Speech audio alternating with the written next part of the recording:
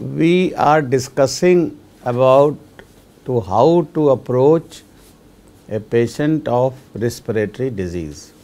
Towards this approach, I have already discussed you how to take history. Now, after the good history, a good clinician should be able to know about the diagnosis. And if you are not able to know one diagnosis, well, you have to know about the differential diagnosis. But uh, the indicator of good history, I must have told on previous occasion, that uh, if you have taken history adequately, completely, then it should address finally about what is the provisional diagnosis. If you cannot think of one, you may think of two, three diagnoses that you call it as differential diagnosis. Then after a good history, the next part comes while approaching uh, to a patient of respiratory disease is the examination. And uh, as I always say that examination consists of three issues. The first thing is the general examination. The second thing is the systemic examination, but in systemic examination from the history you are aware that which system is involved. So, the, that system should be examined first. And what do you mean by this? Examine first means you have to spend more time on the examination of the system which appears to be involved from the history. And then, then the third part of the examination I always say is the rest of the other system. So, that is how we go for examination. Now, let us talk about the general examination. I will not go much of the details, but what I wanted you to know that the general examination, although in your case sheets there are many points which are written, but as a as a clinician, what I usually teach my students that uh, you should know according to the case, according to the system involved, uh, what are the points in general examination which are very important even if you have a less time, so you should not miss those points. That is the idea. Since here today our interest is a respiratory system, so naturally question is that what are the points in general examination which are very important, which you should never miss. And uh, another way of knowing this, what are the important issues? Many times when you present your general examination, you say many negatives. So, probably those negatives are important issues in the general examination. Like uh, if you do a general examination, what I always say, you have to do everything what is written in your case sheet. But then you have to know that what is the important issues and what is their importance. Like uh, in general examination, any, any patient if I examine first as a general examination, what I see, I, I would like to know his orientation.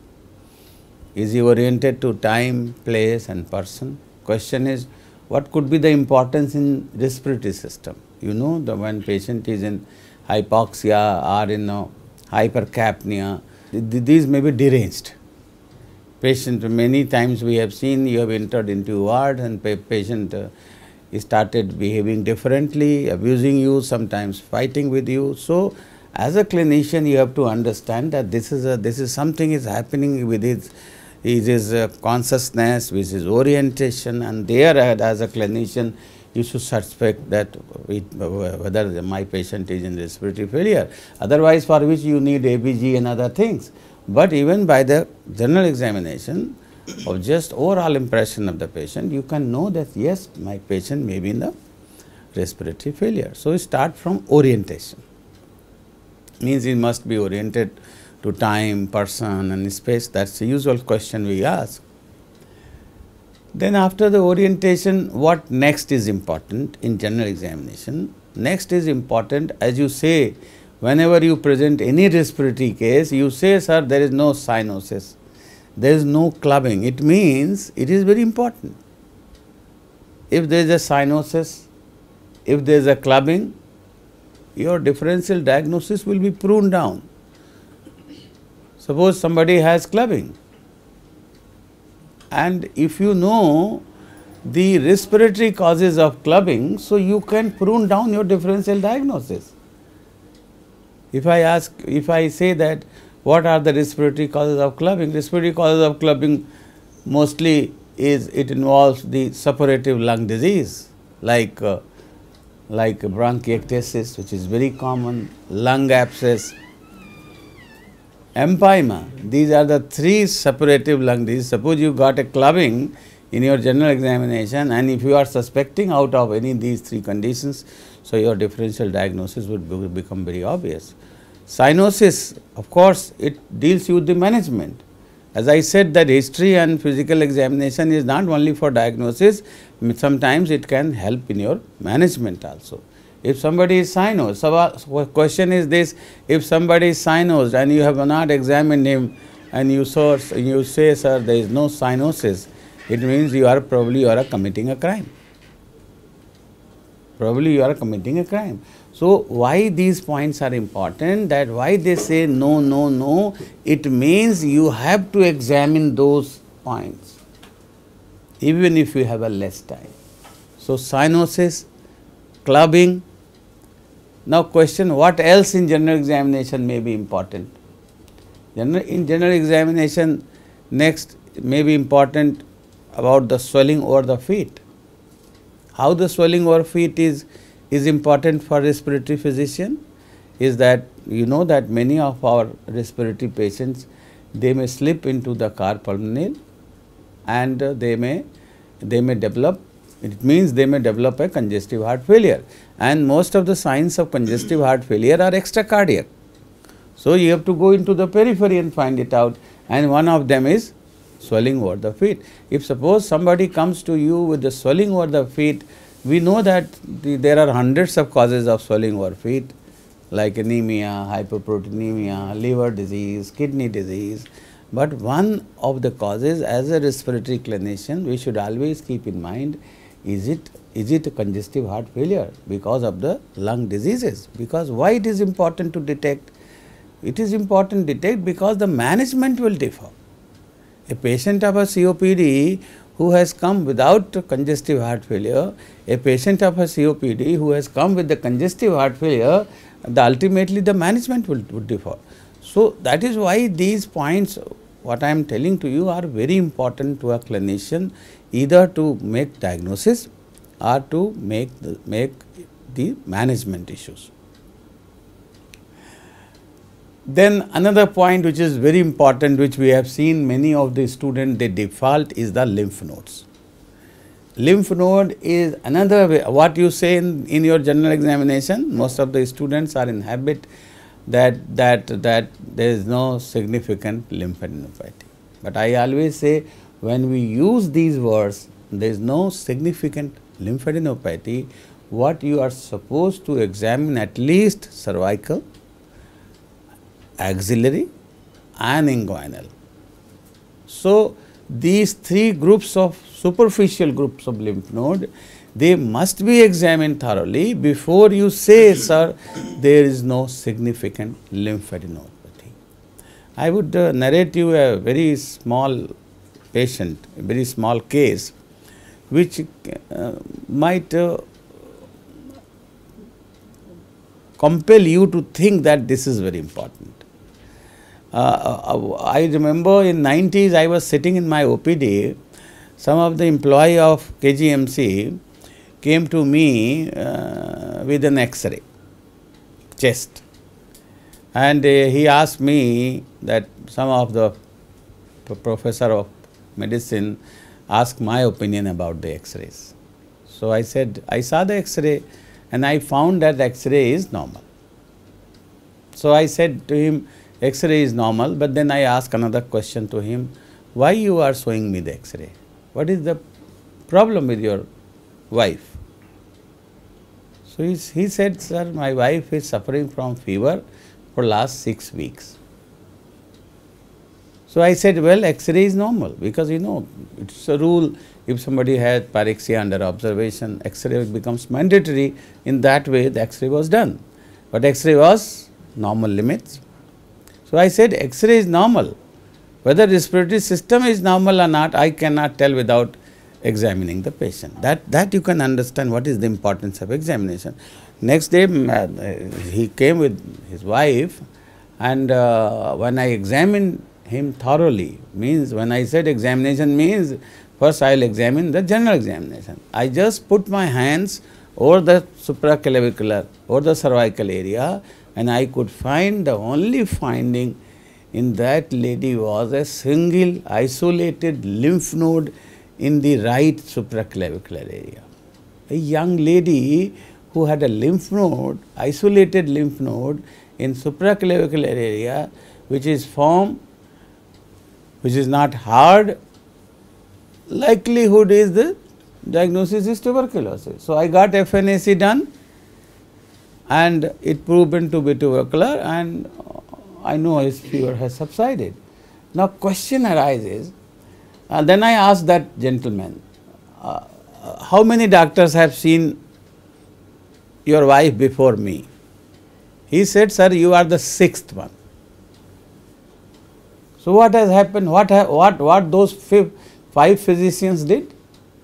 They did as you say in your MBBS classes that sir there is no significant lymphadenopathy. So they are just uh, repeating those sentences without examining the lymph node.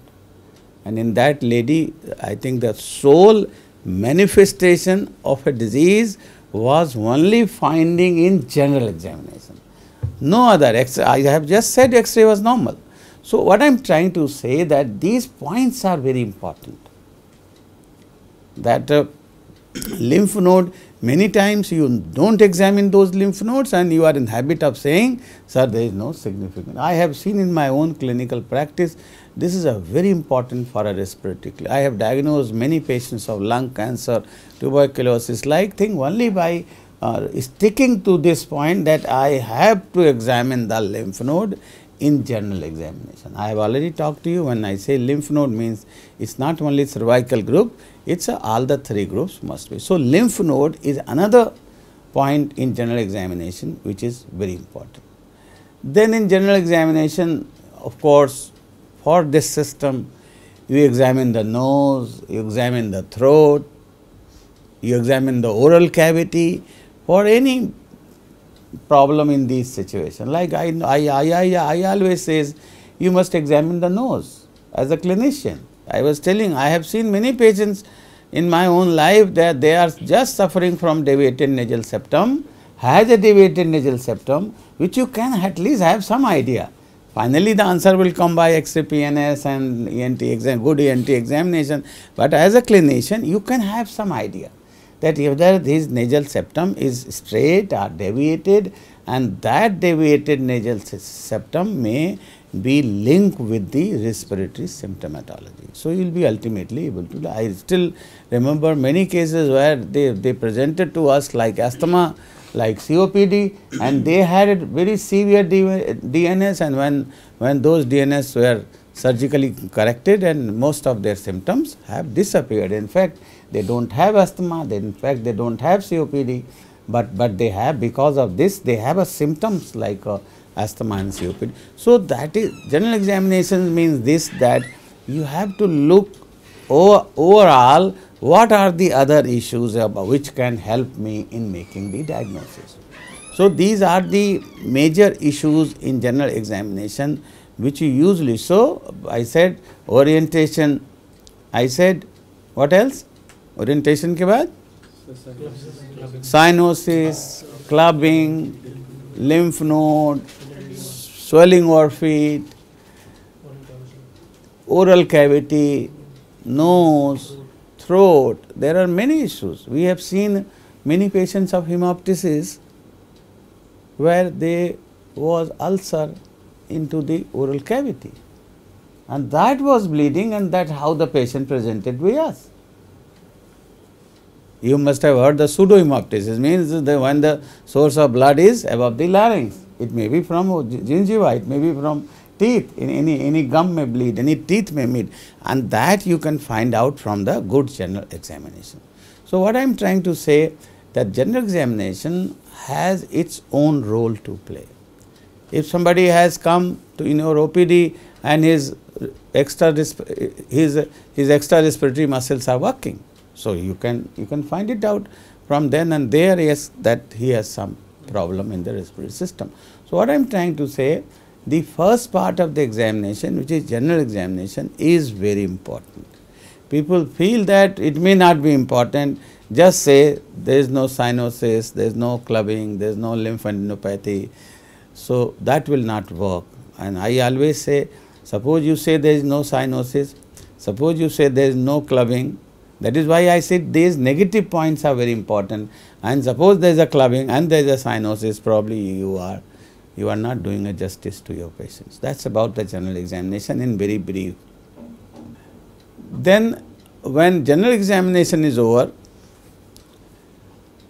I always say that suppose somebody in the history you have got cough with large amount of expectoration recurrently occurring uh, from uh, so many years and if patient entered in your room, you saw his or her nails and you find there is a clubbing, your diagnosis is very clear. Probably you are going to see a case of a bronchiectasis. With the background of that history, with background of that finding, you may, you may think of a, a diagnosis very clearly. So, that is about the general examination.